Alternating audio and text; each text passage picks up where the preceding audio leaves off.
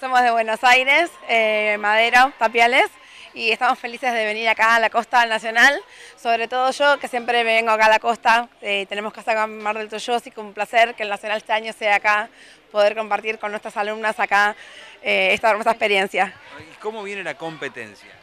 Muy bien, muy, muy entretenido, muy lindo. La Venimos verdad que bien. venimos bien. Muy ¿Y bien. han venido con un contingente de cuántos participantes? Eh, 13, ¿Un montón? 14, 14, 14, sí, un montón, sí. El próximo año esperamos que más todavía. Bueno, ¿Y han competido qué categorías? Eh, escuela formativa, Tercera C. tercera C y Eh, free dance Free dance, avanzado, avanzado. dance inicial, mayores. ¿Qué tiene de distinto venir a competir a un lugar como este, con playa, con distintos Y servicios? es toda una gran experiencia para las chicas. Yo creo que no se lo olvidan nunca en la vida. Es, es una experiencia maravillosa para las chicas. O sea que vale la pena venir a sufrir un poquito los nervios, pero luego un- Mucho. Mucho. Yo siempre le digo a las nenas, los nervios están, pero las experiencias son inolvidables. Las corridas, los sacrificios de los padres sobre todo, es inolvidable. La verdad que sí. ¿Por qué la elección de la sede de la Lucila? Eh, es un campeonato que hace 17 años que se viene realizando y vamos eh, por todo el país.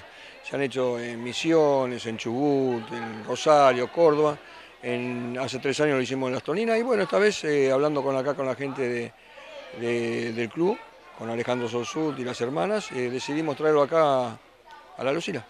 Bueno, mucha gente contenta con el evento porque están realmente no solamente más allá de los nervios de la competencia, digo, disfrutando del lugar. Sí, sí, la gente está contenta, eh, también.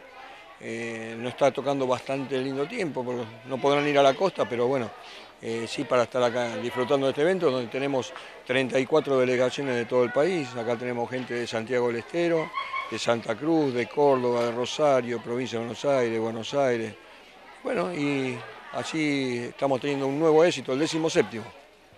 Bueno, evidentemente lo competitivo es la razón de ser, pero luego uno confraterniza, obtiene nuevos amigos. Sí, sí, esto es, en principio, las competencias, los chicos siempre digo lo mismo. Los tres minutos, dos minutos que tiene que competir el chico, pero después que se crea una amistad, eso es lo que tratamos de, hacer. Nos pone muy contentos cuando gente del sur se cruza con gente del norte para después hacer amigos y seguir dialogando. Entonces, bueno, esa es la, función de nosotros. Este es un campeonato para deportistas no federados, siempre lo aclaro. Si bien somos eh, con personalidad jurídica, todo esto está en regla, y bueno, lo seguiremos haciendo por todo el país.